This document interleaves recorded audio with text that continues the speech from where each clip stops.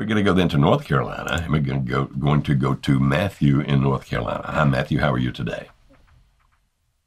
I'm doing well, doctor. How are you doing? Doing well, thank you. So, my my question is, I found out about my wife's second um, affair beginning of October. Hmm. I had to leave out of town for a month. Hmm. The affair um, was over. Um, at that point, I busted her, and it, I made it public, and everyone knows. So it was over at that point. Um, during the time frame before I left, we made a decision that I wasn't going to make any decisions until I got back from my month long work trip. hmm Well, during that month long work trip, I found out about what my legal options were.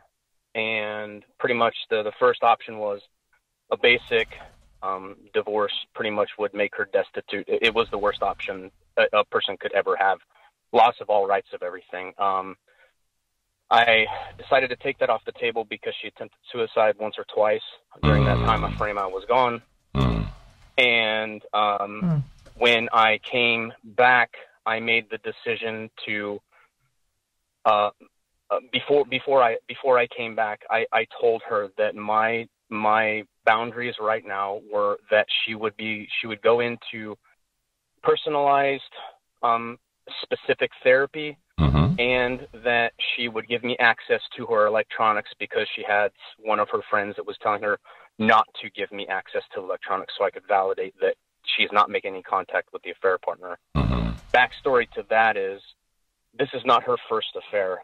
I found out in 2010 that she had carried on an affair of a short period of time hmm with an ex boyfriend in 2002.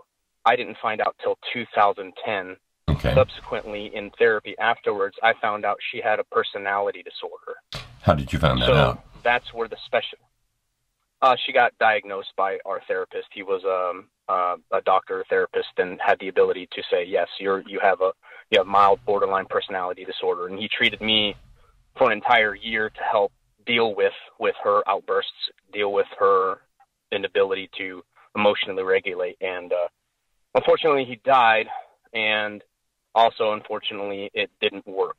Um, yeah so her so pretty much right right now i have i have the her personality disorder if it's not attended to and i'm going we're going to a specialist now that specializes in the only therapy that is seems to be good for it i told her right now we're i would i would assume we're in the process of reconciliation Mhm. but because that is a stipulation of carrying on the marriage that that is managed that is found and that is fixed Mhm. how do how do i manage an extended reconciliation that also has the possibility of not being a reconciliation and a dissolution of the of the marriage we've been married 19 years um i i'm i'm looking at this there you know could be 6 months to a year before i start seeing any real changes in her. Now get to give her credit she is absolutely super wife right now. She if she was a quarter of the wife she is now for our entire marriage i would have been a happy man.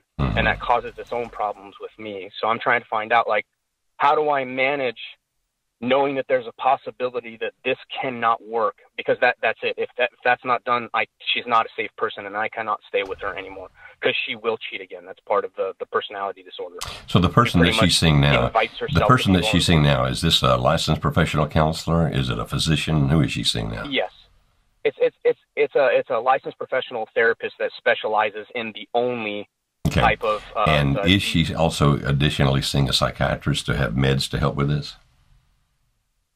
Uh, no, it was brought up originally um, with our first therapist, and they Mhm. said that because she's mild on the spectrum, hmm she she you know most many borderlines are very physically reactive, like they hit people, and that's Right. not that's not the part of her her things that she does. So Well, let me see. I want to feed back to you what I heard. Kimberly, tell me if you heard the same thing. What I heard is this: we have some extenuating circumstances. For example, you know, mild uh, diagnosed borderline personality disorder.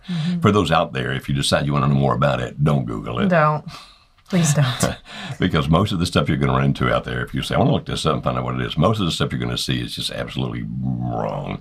If you're going to if you're going to get information on things like this, be sure you get it from somebody who knows what he or she's talking about. So Mm-hmm. I would trust, like for example, WebMD, as opposed to somebody out there saying, Well, I've yes, read about this. But even there, you get into the. Oh, yeah. It's like when I go to WebMD because I have a cold, and then I convince myself that I have colon cancer, right? so please or, just. or nose cancer. No, yeah, something something crazy. So please just don't leave it to the professionals. Yes. Right. So he said that she was diagnosed by a. Okay. And so here's what I'm hearing the question being. Okay, someone. we know that she has mild personality disorder. She's seeing a person that's helping her with that, and apparently he has confidence in that person, um, talking with a particular approach that this person is using. Mm-hmm. And here's what I heard him say. This person who's helping my wife now is saying it could take six months to a year for all this to work. But at the same time, in the short term, I'm seeing a great deal of improvement. I don't mm-hmm. know that I trust it. Mm-hmm. I think that maybe she's going to go the other way. And so the ultimate question, if I'm hearing it correctly, and I want to hear if you heard the same thing, the ultimate question is this.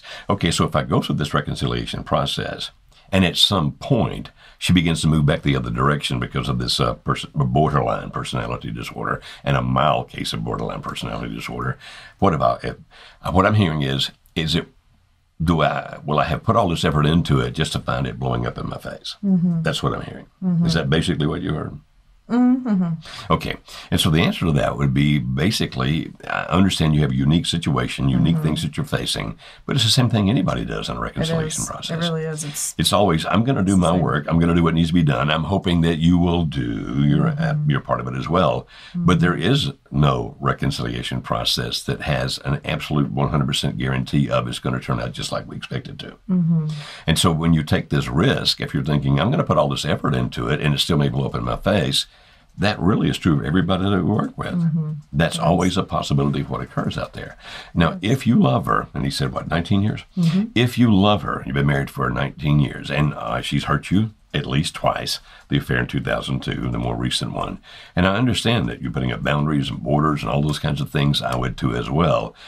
But the real question then from me back to you would be if you love her, is it worth mm-hmm. you risking being hurt again mm-hmm. in an effort to rescue her? right. And that's the question for you. Is it worth it to you to risk the fact you're going to get hurt again mm. to, in that process, hopefully be able to put this marriage back together and, and it winds up being what it's supposed to be? And nobody can answer that question for anybody except that own person. I can't tell you if it's worth the risk. I, I 100% agree. The other thing that's coming to my mind in this is we've worked with people, and I've even had a couple of friends where one of the spouses had some kind of diagnosable condition, and in these instances, it become it can become very easy. And I don't know Matthew or his wife, and I'm not saying that he is doing this. This is just for everyone to hear. Um, it beca- it can become easy to start viewing your spouse as sick to uh-huh. view them as having the problem, to view, and for everything to kind of stem around, well, this is because of their issue. Uh-huh, they, uh-huh. you know, when I was trained as a marriage and family therapist, that's one of the things they warn against, which is it is the person is the person, they are not their diagnosis. That's correct. They're not what's going on within them. And so my encouragement would be continue to see her as your wife, mm-hmm. a woman who is separate and apart from these extra things because it's still hard, different, but still hard for the couples who get married and then their husband or wife ends up getting paralyzed. You know, that it's still a person and it's still extenuating and it's still hard. It's different. And I get that there's hurt involved with the borderline personality issue that's that's going on, but but I think they're a lot more similar than we also might think. So that's my encouragement. So make the decision. Mm-hmm. You may get hurt. That is absolutely true. In your mind, do you love her enough? Is there enough history in those 19 years that you think is worth the risk? And only you, only you can decide that.